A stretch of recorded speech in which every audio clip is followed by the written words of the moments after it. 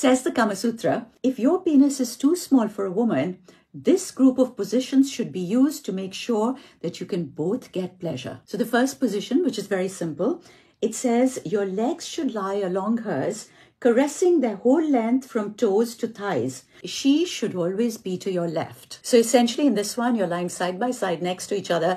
And the only thing to remember is that for both of you, your legs have to be absolutely straight and touching each other all the way. So all the way from the thighs to the toes, your legs need to be touching. The second position, if you're feeling a little bit more experimental, the lover's thighs are interlaced and squeeze each other in rhythm. So basically here now your thighs are interlaced and using your thighs, you squeeze in rhythm. So you squeeze and you let go. You squeeze and you let go. And this actually contracts the vagina in pulses. So it helps to increase the friction a little bit more. And the third one, which is a little bit more complicated, but a lot of fun to try, it says, in this, she crosses her legs or rolls each thigh inwards thus greatly strengthening her grip on your penis. So in this one, your thighs are no longer interlaced. You're now lying next to each other once again.